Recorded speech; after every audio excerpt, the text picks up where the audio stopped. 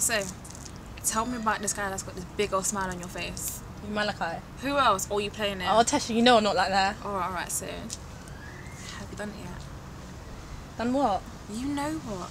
Have you slept with him yet?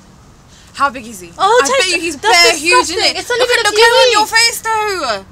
Well, don't he try? Well, I can tell what's on his mind, but you know, he's being patient.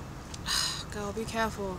These guys only want one thing. That's not going for the older ones, you know. They've got more going for them. What? Like that guy Derek. He was a mistake. Mm-hmm. He took full advantage of you, you know. Thank God he never hit you, because if he did hit you, yeah, I would have to like. alright, alright.